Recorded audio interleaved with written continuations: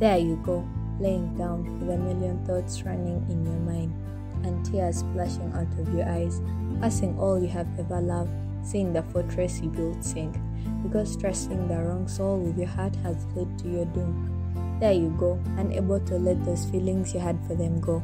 Yet all they bring you is pain. Look at what you have become, and also think of what you could be if you just took a step forward instead of being tied twisted in your past. There you go, alone like an abandoned wolf, with so many silent questions like did they ever love me at all? Was I a choice or a mistake, or was it all a lie? There you go, feeling frustrated, disappointed, defenseless, and defeated. But it's not the end. At times, it's okay to lose something because it helps you learn to treasure what you have next. There you go.